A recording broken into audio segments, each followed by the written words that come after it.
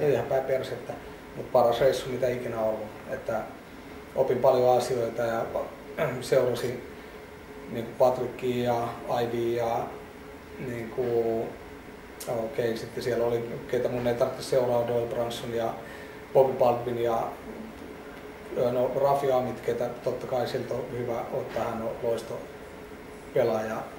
Ja tämmöisiä, ketä siellä oli pelaamassa, niin, niin yritin, tai se ei itse asiassa sillä että me menen sinne tsekkailemaan, mitä ne tekee, vaan siinä pelien ohe, ohessa niin kun ajattelin, että nämä kaverit tekee kuitenkin asioita todella hyvin. Ja mulla on se, että mulla on lähinnä ollut niin kuin vaan, että sitten kun mä menen pöytään, niin sitten pelataan. Mutta kun tässä on paljon muutakin asiaa, että ei se, että okei, sä oot valvonut, valvonut hemmetin pitkään, sit sä pelat 15 tuntia, niin mitä tarvitset siihen 15 tuntia? Se, että sä oot huippukunnossa ja tämmöisiä asioita, se keskittyminen, mikä Patrikilla esimerkiksi on, niin Bobby Zoomissa on kaksi pöytää. Ja mä en, yhtäkkiä mä en ole katsonutkaan, että onko Patrikilla jako päällä ja se pelaa limittipeliä. Eli ei no limittiä tai pottiumahan, jossa ne ratkaisut on niin kuin todella iso rahoja. Limitissä ne on, niin okei, okay, se on iso peli, mutta se on vain yksi bet, mitä tehdään. Niin mä huudan toiseen pöytään, pate. Ja sitten mä katon sinne ja sitten mä sanon, no ei, sorry mä en hokannut, että sä oot jaossa. Niin se ei edes kuulu kumpaakaan, mitä mä sanon. Sitten se joskus saattaa 10 minuutin päästä kysyä, niin sanoi, oliko sulla jotain asiaa mulle?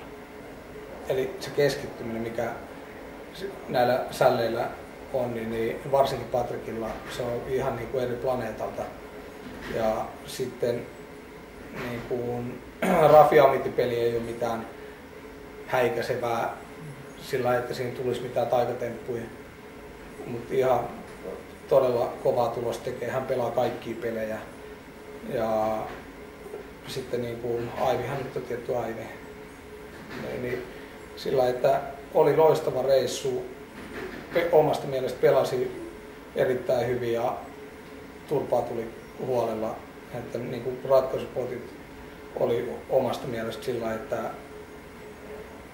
ehkä nämä isommat potit, kaikki mitä oli, niin niitä oli niin kuin siis minimissään 15, mutta luulen 20 yli 700 000 pottia, jos mä voitan yhden niistä, niin, niin sitten ei, sitten ei tule rahaa ja menee aika paljon. Että se, tota, oli hieno reissu ja mulla oli hyvä virta koko matkan pää, päällä, vaikka mä olin koko matkan mä olin kipeänä, että mulla oli paha keuhko, että tulehdus.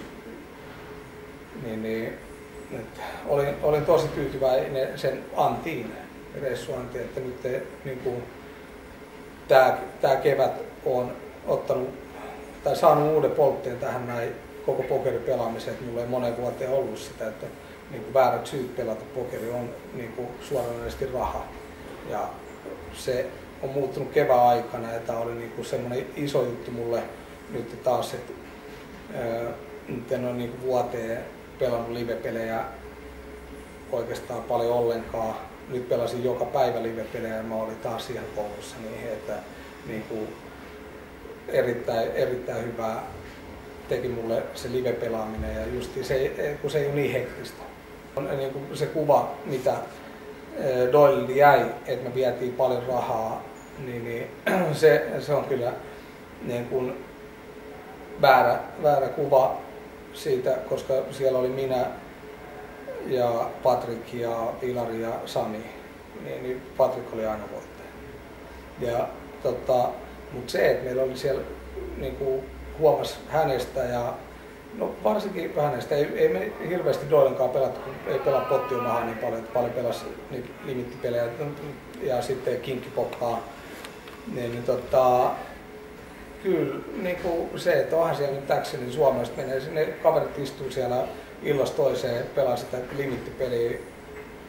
Ei siellä ole mitään, joku tulee jostain joskus, niin kuin, että, että, niin kuin, että mitä sä voit vetää tuommoisilla paskoilla ja tämmöistä, niin että se on semmoista nysväämistä. Ja sitten, okei, okay, kännissä, se on tietty ihan räväkkää, ja, mutta yleisesti niin kuin, kun oltiin siellä, niin peli on todella vauhdikasta, koska siellä oli tämä ranskalainen Siri pelaamassa, joka vauhditti sitä niin kuin kans tosi paljon, että siellä ei ollut niin kuin kyyläämistä juurikaan niin onhan se pokeri silloin kun tapahtuu, niin, niin eikä odoteta sillä että okei tänään kun saisi parit hyvät kortit, niin voisi survasta kalvot keskellä. Niin, tota, ja yleisesti se ilmapiiri oli siellä niin kuin, en tiedä totta kai silloin kun en ole itse paikalla, että minkälainen se on, mutta mä katsoin silloin niitä limittipöytiä sillä ja mä olin just ajatellut, että okei, mun pitää vähän niin kuin mielessä sanoa ennen, niin kuin, että,